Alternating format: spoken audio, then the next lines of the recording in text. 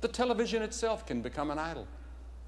When we walk into the room, all conversation stops and we sort of sit there in reverence watching that box to see if JR is going to be shot again.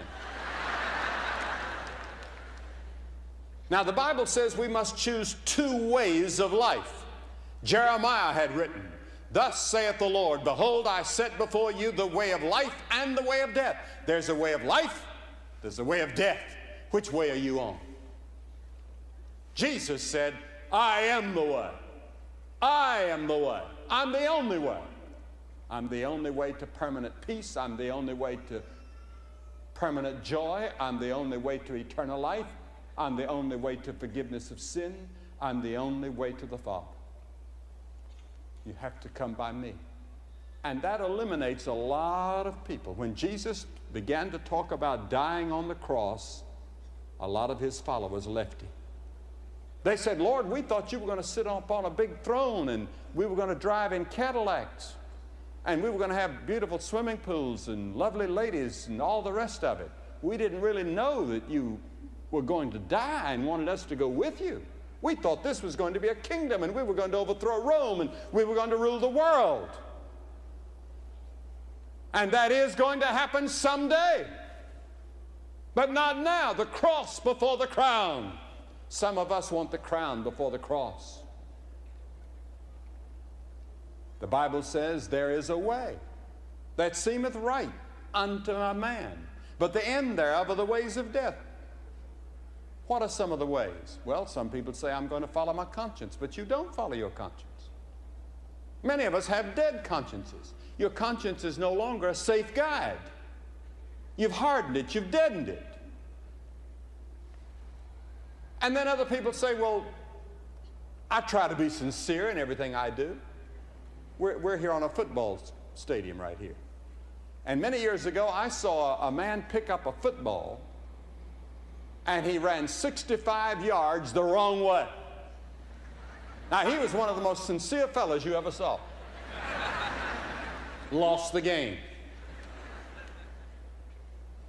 And then there are many people that say, well, you know, I do a lot of good works and I give money to charitable causes and I, I do all that. I, I'm sure God will understand. The Bible says, For by grace are ye saved, through faith, not, not that not of yourselves, but the gift of God, not of works, lest any man should boast. See, if you could work your way to heaven and pay your way to heaven, you'd get up and say, Look what I did. I got myself here by my own good works. The only way you're ever going to make it is to come to that cross where Christ took our sins and our judgment and our hell and identify ourselves with Him. And then there are some people that say, well, I'll reform, I, will do better. I know people that are always saying, I'm going to do better, but they never do better. They don't have any power within them to do better until they come to Christ. And when you come to Christ, an explosion takes place of power that He gives you to live a new life. I can't live the Christian life. I have no power within me to live the Christian life. The Holy Spirit has to live in me, and Christ has to live through me. I cannot live the Christian life. I'm a total flop and failure. Jesus said, Enter ye in at the strait gate. For wide is the gate and broad is the way that leadeth to destruction, and many there be which go in thereat. Because strait is the gate and narrow is the way that leadeth unto life, and few there be that find it. Few, he said, only a few are going to find that narrow gate and that narrow way, as I said last evening. Are you among that few? You not only choose between two ways of life, but you choose between two masters. Jesus said, No man can serve two masters, for either he will hate the one and love the other, or else he will hold to the one and despise the other. You cannot serve God and materialism, he says in Matthew, the sixth chapter, in the Sermon on the Mount. You have to make a choice. All the way through the Bible, choices, choices, choices, choices, choices.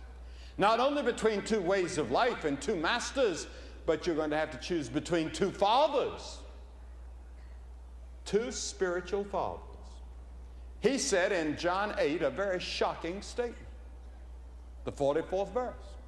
He said, You are of your father, the devil, and the lust of your father you will do. Now, he says, For many of you, the devil is your spiritual father. Now, you're not aware of it, you wouldn't admit it, but that's the way God looks at it. There's either God, your spiritual father, the true and the living God, Christ, or there's the devil. And then you have to choose not only between two ways of life and two masters and two fathers, but you have to choose between two destinies heaven or hell.